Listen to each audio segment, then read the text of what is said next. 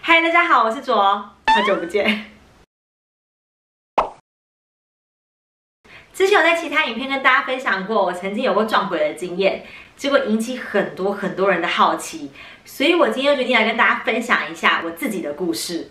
那等等的故事会先从最不恐怖的开始说，但其实全部都不恐怖。如果恐怖指数有五颗星的话，今天的应该只有两颗星吧。所以如果你是很期待会听到那种会让你吓到尿裤子的恐怖鬼故事，那你可能就要失望了，因为真的不恐怖，大家可以期待一下啊。然后我要先声明一下，以下的鬼故事全部都是真实的，不是我胡诌乱编的，我绝对没有说谎，我发誓。这是我有记忆以来第一次遇到不属于这个世界的东西，大概是在我国中一二年级的时候吧，确切的年纪我有点不太记得了。那天就是一个很平常的一天，上完课补完习，回到家写完功课，洗澡睡觉，就是所有台湾国中生的一天。你要问我有什么不一样的吗？真的没有，就是很平常的一天。一切奇怪的开端是在我洗完澡准备睡觉之后。因为我从小就是一个比较胆小的人，超级怕黑怕鬼，所以晚上睡觉的时候不是会开着房间的灯睡，就是一定会打开房门，让房外走廊的灯投射到我的房里面才敢睡觉。当天睡觉前，我一如往常的打开走廊上的灯，那让大家看一下睡觉时我房间的光线，类似是这样的，就会有一道微微的光线投射在墙壁上，因为门是半开的关系，所以墙壁上还是会有门的影子。做完一切准备手续后，很快的我就睡着了。结果睡着睡着睡着，大概睡了一两个小时以后，反正睡不久，不知道为什么我突然就惊醒了。那因为我是侧睡的关系嘛，所以惊醒以后，我的眼睛刚好是面向墙壁的。这时候奇怪的事情发生了，我竟然在墙壁上看到了一个影子。下面是我为了这部影片所拍的示意图，有点像是这样。从人影上看不出来是男生还是女生。但我不知道为什么，我当下的第一直觉就是他是男生，而且还是一个小男孩。最诡异的是，在我看到影子之后，他竟然还跟我讲话了。虽然影子上是没有嘴巴的，但我就是听到了一个童音，而且我记得很清楚，他的开头是这样说的：“不要怕，我不会对你怎么样，我只是很无聊，想找人陪我聊聊天。你愿意陪我聊天吗？”现在回想起来，真的蛮恐怖的。但是不知道为什么，在事情发生当下，我明明是一个很怕鬼的人哦，可是我一点害怕的感觉都没有。可能是因为是小朋友发出的声音，是童音嘛，所以感觉很无害。所以在当时，我是回答他好啊。之后我们就开始对话聊天。那我们两个聊天的详细内容，我真的忘记了，因为当时我真的很想睡觉，所以我无法很巨细迷的跟大家讲我们两个聊天内容。之后在聊天聊到尾声，我又快要睡着的时候，那名小男孩就跟我说：“我之后还可以来找你吗？”结果我脑子又搭错线了，你们知道吗？我竟然回答他：“可以呀。”这一句“可以呀”，完全就是可怕的开端。接下来，这位不知名的小男孩就每一天晚上都来找我。晚上睡觉睡到一半时，我都会突然醒来。醒来以后，他就会开始跟我聊天。也因为这样的关系，我每一天都睡不好。那你们也知道，台湾国中生的课业压力非常的大，因为升学的关系，每天都有非常多的功课，补习都要补到七晚八晚，所以小男孩每天晚上这样来找我，不让我睡觉。前一两天我还可以忍受，但到后面我真的精神衰弱。这样的状况持续了将近一个礼拜左右，一直到有一天晚上睡觉睡到一半的时候，我又突然被吵醒。那天不知道我哪里来的勇气，可能是因为被吵了非常多天，我真的受不了了。于是我又对着墙壁大喊：“我真的想要睡觉，你不要再来找我了，好不好？”结果你们知道吗？原本我心里预设接下来会发生的状况会是小男孩大生气，掐着我的脖子让我去死。但没想到并不是，我竟然听到了一声甜甜的“好啊”，之后在墙壁上的影子。一瞬间，真的就是一眨眼的时间就不见了。从那一天以后，小男孩就再也没有出现过了。事后，我有把这件事情跟我的家人说，但他们一致认为是我在做梦，连续一个礼拜做一样的梦。反正他们就是不相信我啦，也有可能是不相信我们家会有怪事发生。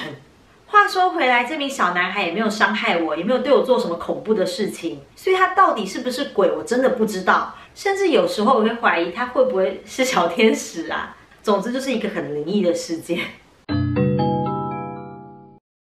第二个故事发生在我大学时，当时我和我大学的男朋友，我们都在假日的时候一起去林口那附近的图书馆读书，尤其是在期中、期末考前，要临时抱佛脚嘛，一定会读到七晚八晚。某一次大考前，我们两个又开始熬夜苦读，在读的差不多以后，大概在晚上七八点时，我们就收拾好书包，一起去林口长庚医院那边的餐厅吃饭。那你们也知道嘛，读书是一件超级烧脑的事情，明明身体没动。但是光动脑就会让人家饿到发慌，所以我们就吃了超级多东西，吃到都快吐了。那我们两个就想着，这样的话不行，这样的话直接骑车的话真的会吐出来。于是我们就临时起意去附近散步，结果走着走着走着，我们就走到了附近的一个小公园。这个公园非常的简单，就是一组带有溜滑梯的游乐设施，还有几个摇摇马。散步散到这个公园时，刚好我们两个走路走累了，于是我们就直接坐在游乐设施上聊天，就像一般的情侣聊天那样，讲一下最近哪个教授很机车啊，哪一位同学的报告都不做，一直搭顺风车啊，谁又和谁在一起了啊，反正就乱聊一堆八卦，大概有聊到三十分钟左右。结果聊着聊着聊着，我突然感觉到不对劲，因为我们两个在聊天的过程中。我的眼角一直注意到公园里的其中一个小木马，那个小木马一直在摇。这件事情是一件非常奇怪的事情。你们有坐过小木马的人应该知道，他们那个弹簧啊非常的紧，就算今天是有风吹过来，它也很难自己在那边摇啊摇啊摇啊。那今天就算是有风好了，那也应该全部的木马一起摇，怎么会只有其中一台在那边摇？一开始发现这个奇怪现象的时候，虽然在当下我觉得怪怪的，但我并没有多想，我就骗自己说会不会是有人刚刚经过撞了他一下。之后我就继续跟我当时的男朋友聊天，我也没有跟他提我发现到的事情，怕明明没什么事情，结果自己乱乱想，越想越害怕。这样大概聊天又聊了一二十分钟以后，我就发现刚刚一直在摇的木马，它还在摇。而且它摇的幅度是那种很大的感觉，就是有人骑在上面摇它，完全没有要停下来的意思。这时候我开始觉得毛了，非常的毛，而且身体不断的发凉盗汗。因为太害怕了，我就把眼神从小木马身上移开，看回我的前男友。结果我发现我的前男友也在盯着小木马看。之后我们两个在对望一眼后，我说：“你看到了吗？”前男友回我，嗯，我又问，刚刚有人经过推了他一下吗？前男友回答，没有，我注意了很久，他自己在那边摇了，至少有二三十分钟。这段对话结束了以后，我们当时就决定要缓一下，因为我被吓到了，腿软，完全爬不起来。大概有缓了十分钟以后吧，我们就缓缓的从那个公园离开。这段经历印象最深刻的地方就是，当我们离开公园，经过木马旁边的时候，它还在摇；当我们走远回头看时，它还在继续摇。现在想起来，我还是有点觉得恐怖，唉，真的蛮毛的。但说真的，你要说木马会不会是坏掉了，也不无可能啦。但是我们在进到公园以前，那个木马并没有在摇，这也是为什么我和我前男友会这么毛的原因。后来我有把这件事情跟在医院里面工作的朋友说过，他说这是一个正常的现象，让我不要害怕。应该是有小朋友鬼在玩木马。他之前在工作时也有听到小朋友鬼玩玩具钢琴的声音。毕竟是在医院旁边，怪怪的事情真的会蛮多的。最后一个故事是我这辈子到目前为止遇过最恐怖的灵异事件，也是印象最深刻的。我到现在还清清楚楚的记得所有的事发经过，以及那张脸。事情发生在我大一那一年，那一天是十二月三十号。为什么会记得那么清楚？除了是因为真的太吓人以外，还有就是事发后的隔天，我还跟大学的朋友一起去跨年。在十二月三十号当天一早。我就跟着我妈妈到家里附近的庙拜拜。那以我妈妈的习惯，如果去拜拜的话，不会只拜一间庙。所以在当天，我总共拜了三间庙，都是在北部非常有名的庙。在拜拜的途中，一切都非常的顺利，也没有发生什么怪事。拜完拜，我就回家了。结果在当天晚上睡觉睡到一半的时候，我突然整个右半身全部发麻，而且不止麻，还有点刺痛。重点是我还动不了。那因为我是侧睡的关系嘛，我整个右半身是面向天花板的，左半身是压着床的，所以要麻的话也应该是左半身，不会是右半身，因为血液循环不好嘛，左半身。在麻的当下，因为我还在睡觉嘛，所以我虽然觉得很奇怪，但我并没有多想。之后我就迷迷糊糊、半梦半醒的睁开眼睛，没想到眼睛一睁开，我看到了我生平最恐怖的画面。一双眼睛就贴在我的右眼旁，瞪大的盯着我看。没错，是另外一个世界的东西，是好兄弟。那名好兄弟就整个压在我的右半身，他的脸也就贴在我的脸上。当时我可以感觉到我整张脸非常的痛，非常的麻，非常的刺，像是被火烧一样。而且那名好兄弟他的脸整个是烂掉的，红红烂烂的。也是被火烧的那种感觉，非常的恐怖。看到这样的一幕，我整个人吓傻了。等到我真的缓过来，试图要尖叫挣脱时，我发现我怎么动都动不了，我就只能眼睁睁的看到一只眼睛盯着我，贴在这里，超级恐怖。现在想到，我真的头皮都在发麻。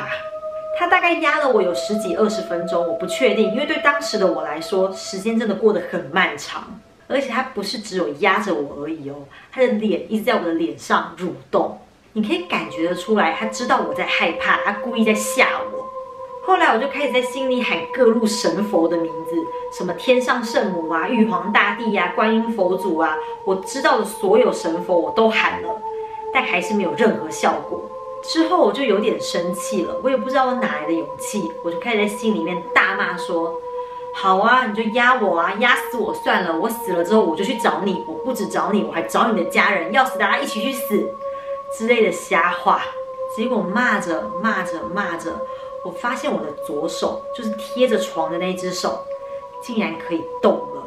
这样的发现让我燃起了一股希望，你们知道吗？后来我就凭借着我左手的力量。一鼓作气把自己翻成正面坐了起来，一坐起来之后，我发现刚刚那名压着我的好兄弟就站在我的床位瞪着我看，而且我可以感受得出来，那个好兄弟非常非常非常的生气。除此之外，我还发现那名好兄弟是一个女生，虽然看不清楚她的五官，但是我就很清楚的知道她是女生。经过刚刚被女鬼压这么久，我的心路历程是这样的：反正我都被你压那么久了，最恐怖的事情我都遇过了，我还有什么好怕的？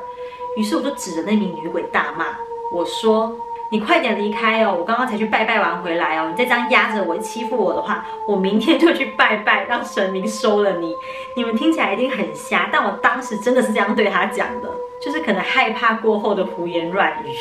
在讲完这一堆瞎话之后，我就开始跟那个烧死鬼大眼瞪小眼，我就盯着他看，他也盯着我看，他非常的生气。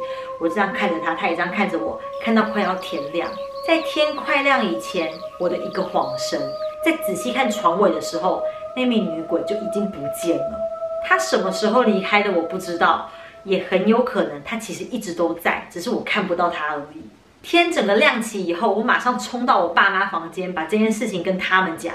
那我妈也找了一个对这方面比较了解的师傅问了一下，得到的解答是，其实，在庙的附近都会有很多好兄弟围在庙门口，那些好兄弟会很想要进到庙里面，可能想跟神明申诉啊，又或者想听听佛经啊之类的。